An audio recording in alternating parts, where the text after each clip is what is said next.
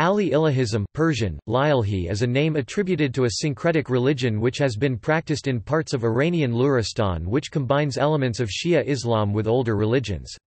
It centers on the belief that there have been successive incarnations of the deity throughout history, and Ali Ilahis reserve particular reverence for Ali, the son-in-law of the Islamic prophet Muhammad, who is considered one such incarnation.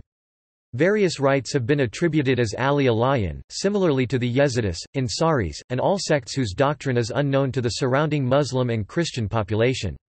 Observers have described it as an agglomeration of the customs and rites of several earlier religions, including Zoroastrianism, historically because travelogues were evident that there is no definite code which can be described as Ali Illahism.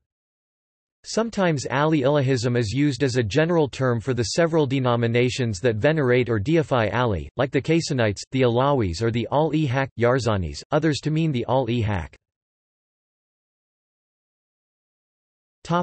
In the Dabistan-e-Mazaheb The Dabistan-e-Mazaheb a Persian book of the 17th century about the South Asian religions presents the Ali Ilahians as a sect that respected Muhammad and Ali and discarded the Quran as it was compiled under Umar.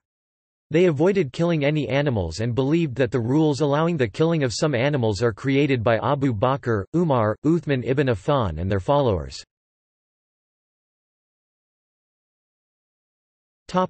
See also Anthropotheism Goran Kurds Ghulat Kurdish people